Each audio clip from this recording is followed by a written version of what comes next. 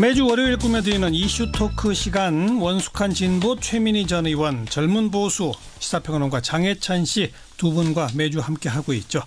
오늘은 지난 금요일 있었던 그 경남 밀양의 화재 참사 등 최근 계속되고 있는 대형 사고 그 책임은 누구에게 있는가 대책은 어떻게 세우고 또 실천해야 할 것인가 이 문제 이야기하겠습니다. 뭐 정치권에서도 이 문제가 또 공방을 벌이고 있어서 오늘 이 문제를 좀 주제로 잡아봤는데요. 최민희 전 의원 그리고 장혜찬 씨 어서 오십시오. 안녕하세요. 안녕하세요. 네. 왜 이런 사고가 자꾸 납니까? 우선 너무 마음이 아팠습니다. 아파요. 저도 네. 금요일에 이제 속보로 이 뉴스를 접하고 시청자들께 또 알려드렸었는데 계속해서 요즘 이런 화재 사고가 난다는 것 자체가 참 마음이 아픈 일이고 이를 계기로 우리가 계속 소잃고 외양간 고치기를 하고 있잖아요. 예. 그러나 외양간을 좀 제대로 고쳤으면 두 번 세 번 사고가 반복이 안 되는데 그러니까요. 이제라도 좀 후속 조치라도 좀 제대로 취했으면 하는 그런 절박한 심정을 모든 국민들이 갖게 되는 것 예. 같습니다. 저도 맨날 방송에서 소 잃고라도 외양간 제대로 고쳐야 한다는 말을 자주 하는데 그게 잘 안 되는가 봐요. 그죠? 네, 맞습니다. 그리고 음, 일단 희생자들 그리고 유족들 부상 당하신 분들께 그 뭐라고 위로를 드려야 될지 모르겠어요. 예, 이게 예. 너무 끔찍한 일을 바로 곁에서 겪게 되고 이거는 그 문재인 대통령께서 어, 무한 책임을 느낀다는 그런 요지의 말씀은 참으로 타당하다고 봅니다. 예. 네, 그런데 그 이제 이 외- 소잃고 외양간 고친다는 말씀하셨는데 제가 어저께 보니까 성북구청장 김영배 구청장이에요. 젊은 구청장인데 예. 지난번에 제천 참사가 난 이후로 공무원들을 최대한 동원해서 그 안전 진단을 했답니다. 예. 성북구 내에. 예, 예. 그래서 그 1차 안전 진단에서 조금만 이상한 데가 있으면 2차로 소방서하고 같이 예, 안전 진단을 해 나갔다고 합니다. 음, 그러니까 음 저는 이렇게 정부 차원에서 그리고 지방 자치단체 차원에서 이게 제천에서 불이 났다 그러면 이게 우리 동네 얘기가 아니다 이러지 말고 그렇죠. 저는 기초 자치 단체가 중요하거든요. 이 문제는. 그래서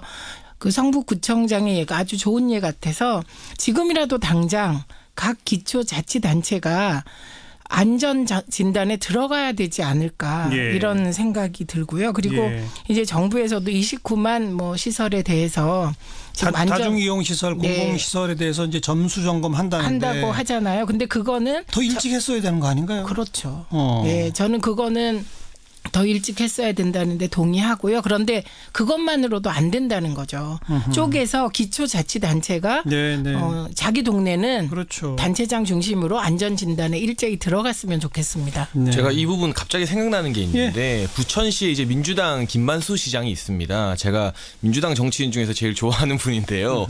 이분이 이 화재 이후에 시 관할권 내 모든 요양병원과 노인병원에 대해서 긴급 점검 조사를 했다고 합니다. 이런 식으로 저는 이 행정 안전부라던가 국무총리실에서 그동안 이 전수 조사나 이런 것들을 왜 빨리 안 했느냐 정부 차원의 아쉬움이 있지만 예. 최 의원님 말씀처럼 이 지방자치단체가 관할권 재량권을 발휘해서 점검하는 게 참 중요하거든요. 그렇죠. 지금 지방 분권이 또 개헌의 중요 이슈로 나왔는데 권한만 달라고 할 게 아니라 지방자치단체들이 책임을 지는 모습을 보여야 합니다. 네, 그래서 이렇게 네. 말씀하신 성북구청장이나 뭐 부천시장처럼 이 관할 단체에서 좀 주도적으로 책임을 가지고 이 점검을 하는 그런 풍토가 좀 빨리 마련됐으면 합니다. 그리고 지난번 제천 참사도 그렇고 이번에 밀양 참사도 그렇고 이렇게 다수의 희생자가 벌어진 이후에 조사해 보면 꼭 뭔가 불법적인 게 나와요. 불법 증축이라든지 또 뭐 제대로 된 단열재나 이런 걸 사용하지 않았다든지 방화문이 제대로 작동 안 했다든지 스프링쿨러 관련된 규제와 규정이 미흡했다든지 뭐 이런 것들이 항상 뒤에 뒤따라 나오잖아요. 네. 나와서 지적만 되고 제도 개선으로까지 이어지지 못하는 거 이게 참 우리 병폐 아닙니까? 예, 병폐이기도 하고요. 그- 이건 조금 음, 요런 얘기를 해봐야 될 것 같아요. 네. 어, 우리가 IMF를 맞은 이후로 우리 사회의 규제 개혁이라는 것이 하나의 선처럼 그걸 아- 절대 선처럼 이게 되었거든요. 그래서 예. 어, 이게 민주정부에서도 그 많은 규제를 그냥 숫자로 풀었습니다. 이게 IMF의 권고이기도 했고요. 예. 그런데 산불과 관련한 규제도 민주정부 시절에 푼 게 있습니다. 어. 예, 그런데 그 이후에 정말 산불이 많이 났습니다. 예. 그래서 저는 지금 우리나라가 한 번은 규제에 대해서 다시 점검해야 된다. 규제의 개념에 대해서. 그래서 풀어야 될 규제와 풀면 안 되는 규제에 대해서 좀 합의가 필요한 것 같습니다. 안전 관련 규제는 더 강화해야 된다는 예, 그런. 취지, 죠 그래서 예. 지금 이제 말씀하신 대로 이게 다 인재다라고 결론 지어질 수밖에 없는 게 예를 들면 불법 증축은 원래 그건 뭐 불법이고요. 네. 그런데 셀프 점검이라든지 스프링클러 작동 문제라든지 뭐 방화병 문제라든지 뭐 이런 것들은 다 규제 완화하고 연관이 되어 있습니다. 그러네요. 예, 그리고 이게 이제 제가 정쟁화되면 안 된다는 생각이 드는 게 그 이명박 대통령 시절에 건축에 대한 규제가 많이 풀렸습니다. 네. 그래서 뭐 드라이비트 같은 것도 서민 주거 안정을 위해서 드라이비트가 좀 가격이 다른 거에 비해서 싸면서 뭐 그 온열 효과가 있기 때문에 쓰게 되었는데요. 지금 드라이비트가 제천 화재 때도 등장하고 이번에도 또 등장하고 의정부에서도 등장하거든요. 예, 예.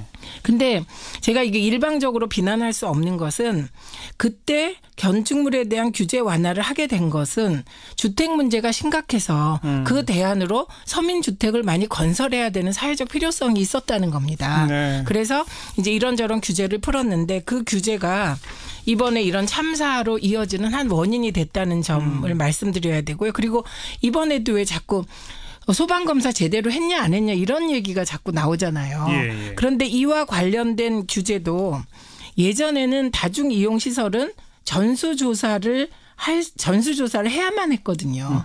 그게 병원이나 요양원 등 다중 이용 시설인데 이것이 이제 지난 정부에서 샘플 조사로 바뀌었습니다. 네, 네. 예, 그래서 이런 식으로 규제가 이렇게 풀리면서 그 규제가 풀리니까 또 그 규제를 안 지키는 또 불법의 사각지대가 또 발생하잖아요. 그렇죠. 예, 그 결과인 것 같습니다. 예. 어, 저는 사실은 이 규제가 풀린 게 문제점을 야기하고 있지만 왜 그 당시에 그 주택 관련 규제가 풀릴 수밖에 없었는지에 대해서 말씀을 좀 드리려 했는데 최 의원님께서 다 말씀을 너무 잘해 주셨고 서민주택 확충 네. 뭐 이런 네. 거. 예. 제가 조금 더 지적하고 싶은 건 지금 정치권에서 이 문제를 가지고 뭐 정쟁화되는 모습들이 좀 보이는 것 같아요. 오늘 그 그래서 사실 이 문제 토론 주제로 잡은 거예요. 네, 그래서 예. 그 부분에 대해서 뭐 유족분들도 좀 불편한 반응을 보이고 계시고 국민들도 많이 우려하고 있는 것 같은데 기본적으로 정부 여당의 역할 은 문제를 해결하는 것이고 야당은 이제 대안을 제시하는 게 저는 역할이라고 생각합니다. 그러나 지금 이 날성 공방들을 보면 다들 남탓만 하고 있지 어떻게 대안을 제시하고 문제를 해결할지에 대한 해결책은 좀 많이 밀려나 있는 것 같고요. 네. 저는 역시나 국회 제도 개선 과연 국회가 그동안 소를 읽고 외양간을 잘 고쳤는지를 조금 지적하고 싶은데 이런 사고나 재난이 터지면 국회에서 무더기로 법안들이 쏟아지고 있습니다. 예. 제천 화재 이후에도 관련된 화재 관련 법안이 10개가 발의가 됐는데 아직 상임위에서 논의조차 안 되고 있고요. 그렇죠. 가장 문제가 됐던 게 이제 소방차 전용 구역, 뭐 불법 주차나 이런 것들 때문에 소방차들이 사다리 차들이 잘 못 지나가는 게 문제로 대두되지 않았습니까? 이 법안은 무려 1년 전에 국회에서 발의됐는데 아직까지 통과되지 않고 잠자고 있습니다. 그리고 홍수나 뭐 폭염 등이 터졌을 때도 국회에서 법안을 많이 발의합니다. 지난해 포항 지진에서는 40건의 지진 관련 법안이 발의됐는데 본회의를 넘긴 법안은 11건이고요. 폭염 네. 당시에도 2026건의 폭염 법안 중 국회를 통과한 법안은 3개에 불과합니다. 그래서 이 재난이 터지면 제가 봤을 때 국회의원들이 마치 의정 보호를 하기 위해서 막 발의 발의부터 막 하고 SNS에 막 자랑해요. 내가 이런 법안 했다고. 발의냈다. 그런데 그게 아니라 정말 통과가 될 수 있는 법안을 제대로 발의할 필요성이 있고 예. 일단 발의했으면 제대로 외양간 고칠 수 있도록 좀 빨리 통과를 시켰으면 좋겠습니다. 네. 그 국회의 역할이나 제도 개선의 필요성 뭐 앞으로 이제 우리가 이 문제 어떻게 극복해야 할지 마지막 결론 부분에 나와야 할 얘기가 먼저 좀 나왔는데 어 정쟁에 아까- 대해서 네, 좀 아까 두분 말씀드리자면 다 정쟁으로 가면 좀 곤란하다는 얘기를 하셨습니다만 네. 저는 참 의아한 게 여야 지도부가 이런 사안 앞에 왜 꼭 상대방 탓하는 말을 해야만 할까요? 안 할 수 없나요? 이 부분은 이제 정쟁을 유발했다고 조선일보에 지목당한 사람이 저예요.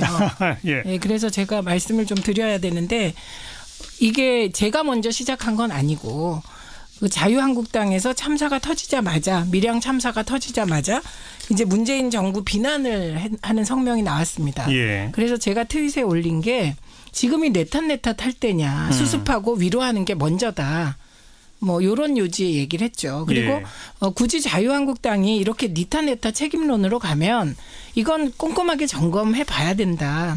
왜냐하면 소방직을 국가직으로 전환하자는 게 문재인 대통령 공약이었다. 그런데 그거를 반대한 것도 자유당이고 자유한국당이고 그리고 소방직 충원을 반대한 것도 자유한국당이다. 그리고 소방직은 그래서 지금 이게 지방정부 관할하에 있다. 네. 근데 경남도를 보니까 지금 경남도지사가 공석이더라고요. 그 홍준표 예, 근데 잠시 저는 그걸 까먹어서 예, 예. 예, 보니까 경남도지사가 홍준표 전 대표였는데 홍준표 아 현재 대표였는데 홍준표 대표가 대선 나가면서 경남도지사직을 사퇴했는데 사퇴 시한을 아주 재보고를 하지 못하게 맞춰서 그때 비난을 많이 받았던 맞아요. 기사를 다시 찾아봤습니다. 예, 예. 그리고 밀양시장도 자유한국당. 그다음에 국회의원도 자유한국당. 그 군 시의회 있잖아요. 시의회도 다 자유한국당이 장악돼 있는데 지금 책임 공방 할 때냐? 우리 이런 낮은 수준의 공방 하지 말자가 제 트윗의 요지였어요. 네. 근데 그거를 이제 언론에서 본래 취지는 딱 빼고 거- 그 맥락은 뭐 어디 갔는지 없어지고 그냥 자유한국당의 책임을 돌렸다 이런 식으로 왜곡을 해서 시작이 된 겁니다. 그리고 표창원 의원은 이제 그 그 화재 관련 안전 법률을 뭐 강창일 의원이 냈는데 그게 자유한국당의 반대로 통과되지 못했다. 이거를 이제 올리셔서 예. 뭐 표창원 의원과 제가 자유한국당의 표적이 돼서 뭐 비- 표적이 되었습니다. 그런데 애초 취지는 그게 아니었고요. 그리고 그 뒤로는 어떤 문제가 생겼냐면 김성태 원내대표가 문재인 대통령 책임지고 그다음에 내각 총사퇴하고 뭐 이런 얘기 하지 그렇습니다. 않았습니까? 예. 밀양, 밀양에 가서 예. 그런데 그런 발언에 대해서 뭐라고 지적한 분이 밀양 시민입니다. 밀양 시민이 여기 정쟁하러 왔냐? 그런 말왜 하냐? 그랬더니 또 자유한국당 지도부가 민주당원이 여기도 있다. 근데 알고 보니 민주당원이 아니었다는 거 아닙니까? 예, 예. 그래서 저는 지금 이 순간에도 이제 자유한국당이 정쟁을 유발하는데 그에 대해서 민주당 지도부가 답을 안 했었죠. 그런데 계속 심해지니까 이제 지도부가 대응할 수밖에 없었고 그럼에도 불구하고 문재인 정부는 일제 대응하지 않고 수습에만 만전을 다하고 있다는 점 알려드립니다. 제가 이 부분 조금 네. 저의 의견도 밝히면요. 기본적으로 니 탓할 내 탓할 때가 아니라는 최민희 전 의원님 말씀에 저는 100% 동감합니다. 음. 그러나 이런 국가적인 재난이 뭐 한 번이 아니라 좀 연달아 터지고 있는 상황에서 이 모든 걸 국가 탓으로 돌릴 수 없지만 어쨌든 야당의 역할은 정부를 비판하고 좀 책임 있는 자세 그리고 재발 방지에 대해서 엄정하게 비판을 할 수밖에 없는 게 또 야당의 의무이자 역할이고요. 그러나 예. 아쉬운 점은 뭐 지금 김성태 원내대표 같은 경우 내각 총사 퇴까지 거론하고 있는데 제가 아까 말했던 야당의 가장 중요한 역할 대안 제시 부분에 대해서는 참 뾰족한 발언들이 안 나오고 있는 것 같아요. 그래서 비판이 의무이지만 비판과 동시에 대안을 제시해야 되는데 그 부분이 약한 게 지금 자유한국당의 비판이 어떤 국민적인 큰 공감을 못 얻는 이유인 것 같고요. 이 표창원 의원 같은 경우 뭐 2009년 민주당 강창일 의원이 발의한 이 소방법을 자유한국당 지금의 자유한국당이 통과시켜 주지 않아서 마치 이 사고가 발생한 것처럼 말을 했는데 저는 이 부분은 사실 표 의원의 발언은 대단히 부적절했다고 보고요. 그 당시에 이제 강창일 의원이 국토위에서 발의한 법안 같은 경우 국토위 전문위원들과의 어떤 의견 수렴을 통해서 강창일 의원이 수정해서 발의를 합니다. 네. 그래서 그해 12월 8일에 이 법안이 통과가 되었어요. 아, 통과됐어요? 수정된 법안이긴 하지만요. 어. 그리고 원래 법안 같은 경우도 소급 적용이 금지되어 있었기 때문에 2010년 이후 건축된 신규 건물에 대해서만 이 강창일 의원 법안이 적용되는 것이거든요. 이 세종병원 같은 경우는 92년도에 준공됐기 때문에 이 법안이 원안대로 통과가 되었다 하더라도 이 법안 강창일 의원의 법안과는 크게 상관이 없는 거예요. 근데 이걸 마치 이 법안을 통과 안 된 것처럼 그리고 네. 이 법안 때문에 이 세종병원 사태가 일어난 것처럼 분노를 옮겨 가려는 이건 것은 좀 사실관계 파악부터가 문제가 네, 있네요. 현실적인 뭐 이 현실 정치인으로서 좀 대단히 부적절한 발언이 아니었나 그 부분은 저는 좀 아쉬운 점 지적하고 싶고요. 이 지자체의 잘못 물론 제가 지자체 권한이 중요하다고 했습니다만 우리가 뭐 제천 사고가 일어났을 때 그 당시 뭐 충북 도지사나 이런 분들 제천 시장에게 책임론을 전가하는 분위기는 없었습니다. 그런데 이 홍준표 대표와 여당 지도부의 발언들이 좀 격화되면서 뭐 경남지사 사태나 이런 이야기까지 나오고 있고 밀양시장 그래요. 이야기까지 나오고 있는데 예. 기본적으로 문재인 대통령께서 이 재난의 컨트롤 타워는 국가가 해야 하는 것이 맞고 본인 스스로 책임을 져야 되는 것이 맞다고 했기 때문에 이것이 뭐 밀양 시장이 누구인가 뭐 시의회가 누구인가까지로 번지는 것은 좀 예전의 다른 사고에 비해서도 너무 이 정치인 분들의 발언 수위나 이런 게 좀 격화된 것은 아닌가 하는 네, 점이 저는 좀뭐 인정해요. 이왕의 표적이 된 김에 할 말을 좀 다 하고 네, 하세요, 하세요. 먹겠습니다. 그런 얘기가 왜 나왔냐면요.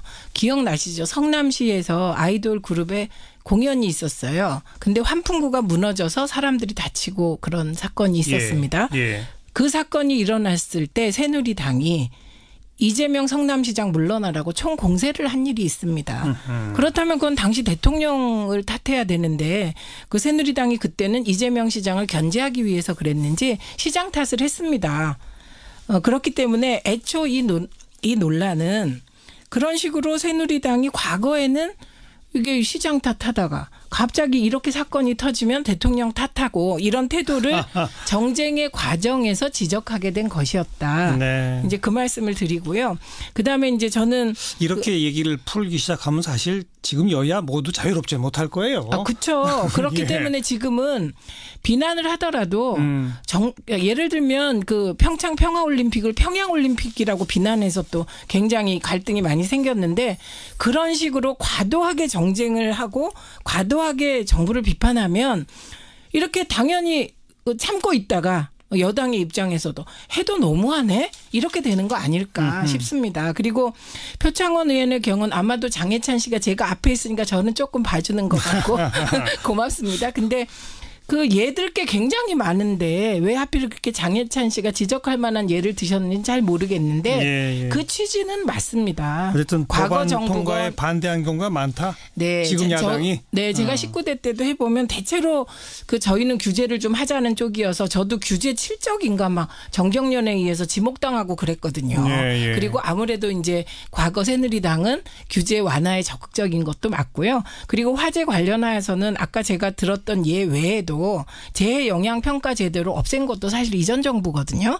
그러니까 그 들 예가 많은데 예를 조금 잘못 드셔서 그렇게 지적을 받는데 표창원 의원의 취지도 잘못된 규제 완화가 계속 참사를 부르니 국회가 나서서 좀 필요한 규제는 하자. 네, 네. 그냥 이런 취지인 것 같습니다. 저는 이 논의가 계속해서 또 소방법이나 건축법, 불법 증축 이런 쪽으로도 지금 많이 언론에서 주로 다루고 있잖아요. 정치권에서도. 그렇죠. 그런데 저는 핵심을 따져보면 결국 비용의 문제고 사람 인력의 문제가 사실은 이 어떤 드라이비트나 이런 것보다 더 클 수도 있다고 생각하는데요. 예. 가장 최근에 화제가 됐던 요양병원 화재 같은 경우 역시 전남 장성에서 벌어졌던 화재였을 겁니다. 2014년에 20분 이상이 돌아가셨는데 그때 화재 사고 현장에 책임지던 인력이 간호조무사 한 명밖에 없었다고 합니다. 음. 그리고 이 세종병원 화재 같은 경우도요. 뭐 의사나 간호사 같은 경우는 30명 이상이지만 당시 이제 화재가 발생했을 때 약 9명 가량의 직원이 있었다고 하는데 사실 요양병원 같은 경우 거동이 대부분 불편하기 때문에 다른 어떤 의료 시설이나 건물보다 대피가 더 힘듭니다. 그런데 이렇게 배정되는 인력들이 적은 점. 예. 이 부분에 대해서는 우리가 인력을 늘리게 되면 결국 비용이 늘어나게 되고 국민들 세금이 더 늘어날 수밖에 없는 문제거든요. 예, 그리고 예. 이 소방직 국가직 전환이나 이 소방 공무원 확충하는 것도 이번 사건으로 인해서 제가 봤을 때 여론의 바람을 타게 될 것으로 보여지는데 그 역시 이제 세금과 비용의 문제를 떼놓고 생각할 수 없습니다. 따라서 우리가 이제 어엿한 선진국 반열에 들어서서 예전처럼 급하게 성장만 하기 위해서 모든 것을 압축했을 때 부작용을 해결하기 위해서는 평소에 우리가 돈을 좀 더 내고 쉽게 말해서 불편을 더 감수하더라도 이제는 이 비용을 내고 시스템을 좀 선진국들처럼 만들어가는. 문제가 더 그렇죠. 중요하지 않나. 어떻게 보면 뭐 이런 드라이 비트라던가 이런 것들은 좀 지역적인 문제일 수도 있다. 이런 생각이 드는 것 같아요. 방금 말씀하신 것처럼 이제 가장 큰 건 소방법, 건축법이라고 말할 수 있는 가장 기본이 되는 제도들이고 그다음 언급하신 요양병원의 이게 관리 인력이나 상주 인력이 얼마나 있어야 되느냐 등등 뿐만 아니라 스프링쿨러 의무 설치는 면적 기준으로만 돼 있다는 거 아니에요? 근데 네, 병원 네. 같으면 그 병원이 주로 지금 입원해 있는 환자가 어떤 상태에 있는지에 따라서 또 달라져야 할 거거든요. 네. 그런 것들이 지금 전혀 반영이 안 돼 있다는 거죠. 세심하게 거기까지 가야 한다. 그런 말씀이신 거죠. 네, 예. 맞고요. 제가 이제 19대 때 국회에 있다 보면 국회의원들이 표를 먹고 살잖아요. 그래서 참사, 이런 참사가 터지면 참사 관련법을 다 봅니다. 네. 그런데 그게 굉장히 급하게 논의하고 급하게 발의를 하다 보니 더 디테일해져야 될 부분을 놓치는 점도 있습니다. 그래서 법과 제도와 관련해서는 정말 국회에서 이게 좀 깊이 고민하셔서 그렇죠. 어, 빨리 제도를 만들어야 할 것 같고요. 저는 홍준표 대표님에 대해서는 이런 생각이 들었어요. 홍준표 대표께서 당신이 경남 도지사를 할 때는 화재가 한 건도 없었다고 했잖아요. 만일 지금 계속 도지사하고 계셨으면 화재, 한, 화재 화재로 사망한 사람이 없다고 말을 했는데 네. 팩트 체크 해 보니까 그건 또 아니다라고 하고 이렇게 지금 되어 있는 상태죠. 화재가 예. 하나도 없다고 말한 적은 없었어요. 그런가요? 네. 그런 보도가 뭐 막 헷갈리는 건데 어쨌든 화재로 인한 사망이 한 건도 없었고 화재가 적었다 이런 취지의 말도 했던 것 같아요. 제 기억엔. 근데 어 지금 만약에 도지사가 건재했다면 훨씬 더 낫지 않겠습니까? 그 다음에 이번에 이제 대구 소방서 있잖아요. 소방서 당국이 대처를 한 걸 보면 정말 모범 답안인 것 같아요. 이게 대구 달서구의 신라병원에서 불이 났습니다. 27일 오후 9시 29분에. 거기 희생자가 한 명도 없었죠. 희생자가 한 명도 없었어요. 예, 예. 그러면 왜 희생자가 없었냐? 여기는 지난번에 그 제천 화재가 난 다음에 대구 소방은 진압대와 구조대를 기존보다 2, 3개 대씩 확대 편성했대요. 음. 그러니까 조를 바꿨다는 거죠. 그렇게 확대 편성해서 상황 발생 초기에 소방력을 집중 투입하는 겁니다. 그리고 최우선적으로 인명 구조에 나선 거래요. 예, 예. 그러니까 이렇게 소방 본부가 조금만 신경을 써도 정말 사람이 사망하고 이런 정말 인명 손실을 막을 수 있는 것 같고요. 그리고 이 그때 이제 신라병원 때 도착하자마자 구, 구조대가 제일 먼저 한게 2층 계단 쪽 방화문을 닫는 거였습니다. 방화문을 닫아서 불이 퍼지지 않고 네, 유독 경기가 걸 빠지지 방지하고, 않도록. 예. 예. 그리고 나서 중환자 여덟 여덟 명을 옥상으로 안전하게 구조시키고 예. 그러니까 이게 그러니까 저는 뭐 정부가 책임지는 거 근본적으로 맞고요. 음. 그리고 뭐 도나 뭐 지방자치단체, 기초자치단체의 책임도 있습니다. 그러나 이게 더 들어가 보면요. 예를 들면 병원. 그럼 진짜 병원장이 안전 문제에 대해서는 이번 이번에 나온 것처럼 불법 증- 증축을 한다거나 뭐 이런 것만 안 해도 그러니까요. 진짜 막을 수 있고 이번엔 특히 제가 더 깜짝 놀란 건 응급실에요. 탕비실이 있는 거는 그거는 정말 전, 네, 저 네. 깜짝 놀란 일이고요. 그리고 지금 혹시 병원에 응급실 옆에 탕비실이 있는 병원이 있다면 빨리 그거부터 없애야 되지 않을까요? 사실 우리가 이런 얘기 하다 보면 답을 모르는 게 아니에요. 네. 다 답은 다 알고 있습니다. 알고 있는데 실천을 안 하고 현장에서 그리고 제대로 점검을 안 하고 또 제대로 점검 안 해서 문제가 터진 후에 저 엄한 책임 추궁이 별로 없고 이러다 보니까 안 되는 거 아니겠습니까? 결국 제가 말씀드렸던 것처럼 비용의 문제인데요. 정부 같은 경우는 뭐 이런 제천 스포츠 화재나 이런 여러 가지 화재에서 드러난 가연성 외장재 규제를 검사하겠다고 밝혔습니다. 예. 그러나 이 검사 비용이 건물 한 동당 약 200만 원, 200만 원 이상 소요된다고 해요. 그런데 6층 이상 건물로 이 검사를 하게 될 경우 검사를 해야만 한 동에 200만 원을 쓰면서 검사를 해야 하는 건물만 수만 동에 달하기 때문에 음. 뭐 특별 예산 편성이 필요해 보이고 이것도 상당히 지난한 과정이 될 것으로 보이기 때문에 정부의 어떤 책임, 정부의 지금 당국자들도 상당히 머리 가 아플 것으로 보여집니다. 그러나 우리가 문재인 대통령이 취임하면서 뭐 다시는 안전사고로 눈물 흘리는 국민이 없겠습니다라는 말씀을 하셨잖아요. 예, 예. 이게 야당이 대안 없이 비판하는 게 문제지만 그 부분에 대한 문제점은 국민들이 나중에 표로 심판하고 분명히 느끼고 계실 텐데 어쨌든 안전을 최우선 가치로 드러낸 정부에서 지금 사고가 터지고 이낙연 총리가 좀 급하게 29만 호 정도의 건물들을 또 전수조사 검사하겠다고 하고 있는데 이 부분은 사실 뭐 제천 화재 이후에 도입됐어도 됐고 좀 빨리 지난 1년 가까운 그렇죠. 시간 동안 좀 빨리 그렇죠. 서둘렀으면 안 됐나 하는 아쉬움은 저도 좀 표현할 수밖에 없을 것 같습니다. 아니 그 표현은 하는데요. 그 자유한국당 주변의 공세가 너무 말도 안 되는 겁니다. 음. 예를 들면 이걸 세월호랑 비유해서 뭐 이런저런 공세를 하는 거. 특히 이나, 이낙연 전 총리가 세월호 당시에 전남도지사였으니까 이거는 이낙연 책임 아니냐 이렇게까지 나가는 거. 근데 당시에 이낙연 총리는 후보였거든요. 네, 전남 도지사 후보. 그렇게 자꾸만 정쟁으로 치달으면서 하다 보니 그럼 사실 확인은 해야 되잖아요. 이낙연 전 총리, 아, 이낙연 총리가 어 도지사가 아니고 후보 신분이었는데 도지사니까 책임져라 하는데 아무 답을 안 하면 그 이낙연 총리 책임이 되어버리잖아요. 그러면 할 수 없이 답을 하게 되잖아요. 알겠습니다. 이러면 이제 정쟁으로 보이게 되는 것이지요. 예. 그래서 저는 그러니까 자유한국당이 대안을 제시하고 정말 점잖게 비판을 한다면 정부를 어 그러면 누구도 이런 정쟁에 같이 휘말릴 일은 없을 것 같아요. 맞습니다. 저는 100% 동의하는데 100% 동의하시죠? 과연 우리 어. 민주정부 이후 우리 역사에서 점잖게 대안을 제시하면서 비판해왔던 야당이 있었던가 이 부분에 대해서는 좀 어머 19대 때 골고루- 민주당 진짜 점잖았습니다. 골고루 의문을 표하고 싶습니다. 자, 네. 여기까지 합시다. 합리적이었습니다. 어, 저는 오히려 우리 청취자분들, 이 시민들께서 정치권의 발언을 과거는 아 그래 그러나 보다라고 하시던 분들이 이제는 하나 하나에 대해서 평가들을 하세요. 아, 저 발언은 적절하다. 저 발언은 저 참 또 무리했네. 5번에 저 참 문제 있다. 이렇게들 도 평가하시거든요. 그래서 그런 눈높이도 우리 정치인들이 좀 보고 살펴보면서 더 좀 진중한 발언들을 하셨으면 좋겠다. 이 정도 말씀을 드리고 오늘 우리 얘기 나온 정부, 중앙정부가 해야 할 일 분명히 있습니다. 또 현장 가까운 곳에 있는 지자체와 소방 당국이 해야 할 일 또 따로 있어요. 그리고 이것들이 모여서 제도적으로 바꿔야 할 국회가 해야 할 일 따로 있습니다. 이번에라도 제대로 하나하나 자기 역할들 좀 다 해주도록 우리도 우리 방송하시는 분들도 끝까지 좀 계속 챙겨야 될 것 같습니다. 이 정도 하죠. 최민희 전 의원 그리고